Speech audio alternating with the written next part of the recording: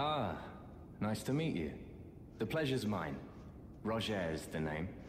A sorcerer, as uh, you might have guessed. I'm looking for a little something here in the castle. When I'm not hot-footing it from the troops, that is. But enough about me. What are you doing here in Stormveil Castle? This place is bristling with tarnished hunters, you know. They sacrifice our kind for grafting. Not exactly a place I'd stroll into without a purpose in mind. Of course, I understand. Why place trust in a perfect stranger? Be safe then, stranger. Watch you don't get sacrificed, eh? I'll do the same. Oh, something bothering you? Or are you just trying to pass the time? I'm curious how you ended up inside this castle. I see. Here to challenge Godrick and lay your hands upon a great rune, are you? You can see it then, I take it. The guidance of grace. Well, enjoy it while you can. I'm tarnished, like you. But unlike you, I've seen neither hide nor hair of this guidance for the longest time. Still, I won't forget how it felt when I first came here, to the lands between. I'm privy to a few magical battle arts. Would you care to learn one? As a fellow Tarnished, once guided by grace, I'd love to help you out, if it please. Oh, keen to learn another battle art, are we?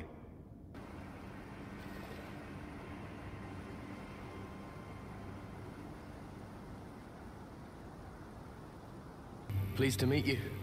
The name's Rogier, a sorcerer by trade. But now I'm in this sorry state.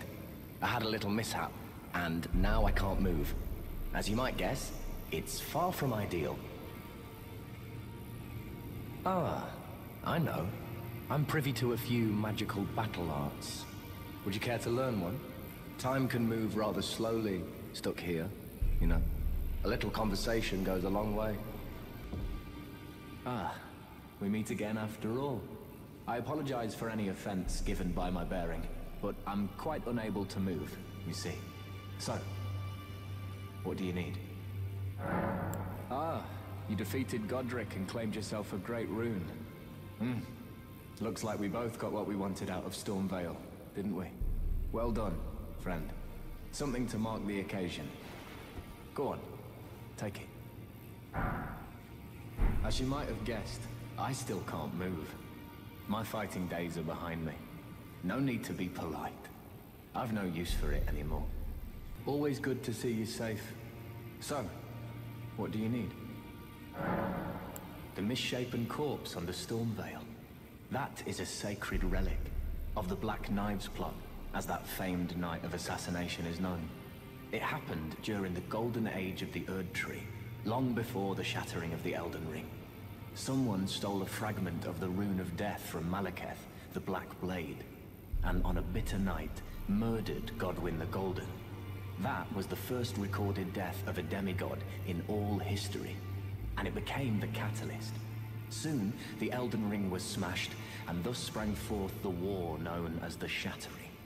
I once wished to become a scholar, you see. I've spent many an hour scouring the archives for knowledge of that fateful plot. The world has grown crooked, and if you intend to put it to rights, you'd better understand what happened to make it this way. Hmm? And that thing is to blame for the shape I'm in now. I urge the utmost caution. Don't disturb the corpse more than necessary. Ah, so you've met Dee. Dee is an old friend. We found ourselves journeying together for a time, bound by our exploration of death. But our paths have since diverged, never again to cross. Though that's hardly an uncommon fate for two friends. Dee was telling me that he discovered the mark of the centipede. The centipede is an ancient symbol of the curse mark. As long as whoever finds and uses it is not nefarious by nature, then we may be able to form an alliance. If only I could speak to them in person. And if they were like you, all the better. Oh, still need something? This is a black knife print. I can scarcely believe you managed to get your hands on this. You recall our conversation about the Night of the Black Knives, yes? They say the assassins who carried out the deed were scions of the Eternal City. A group entirely of women, arrayed in armor of silver under cloaks which fooled the eye. The knives they wielded, though, were imparted with the power of the Rune of Death through sinister rite. Please, I beg of you, lend me the knife print for a time. I'd love nothing more than to tease out its secrets. Though only a fragment, a very specific ritual had to be performed to impart the power of the Rune of Death. Traces of the one who performed the rite are sure to remain in the imprint. Half my body has been suffused with death. I'm certain it will help me see. The battle art you've learned is of the Glintstone family. They were conceived at the Great Academy of Raya Lucaria, to the north of this castle. In the past, they obeyed laws which contravened the Golden Order, or so I'm told. Fascinating, isn't it? That the Golden Order was pliable enough to absorb practices that contradicted itself in the past.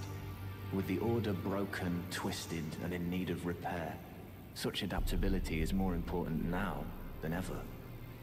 Ah, hello. I was hoping to see you. My examination is complete.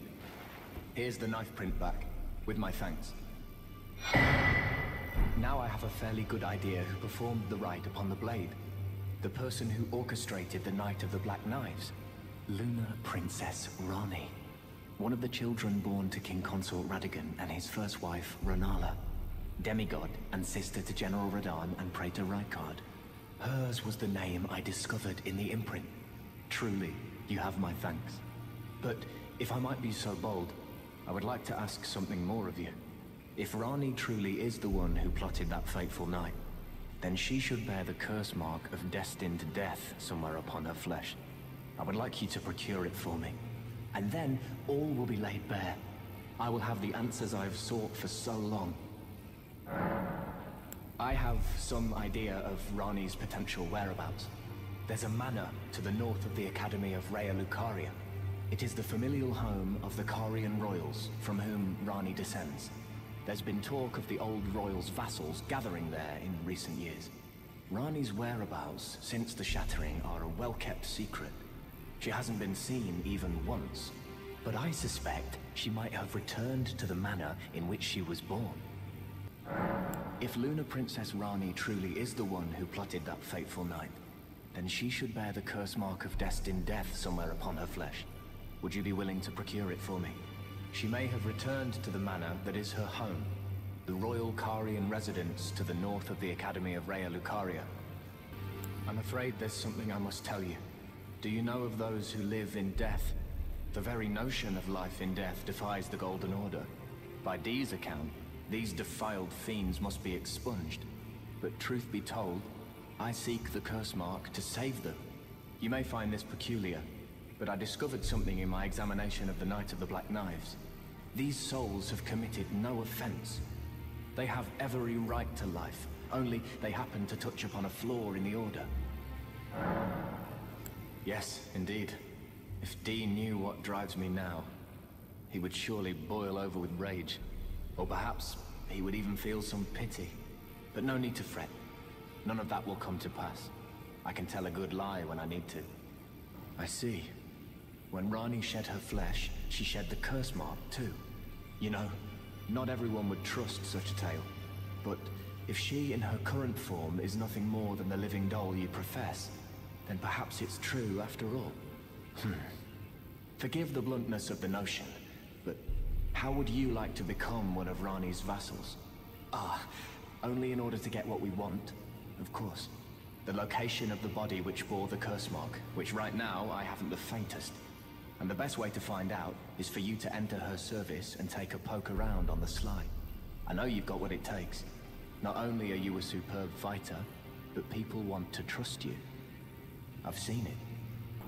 Can you become Ranni's vassal to advance our agenda? While in her service, you'll be able to take a poke around on the sly and determine the location of her original body that bears the curse mark. I realize that I'm asking you to put yourself in grave danger, but I know you've got what it takes. Quite possibly the only one, in fact. Hmm. Maybe I should tell you. Lately, I feel I'm on the precipice of falling into a deep, fathomless slumber. And I have an inkling it could spell trouble for you somehow. So I just wanted to get the apology out of the way beforehand, since you're so scary and all.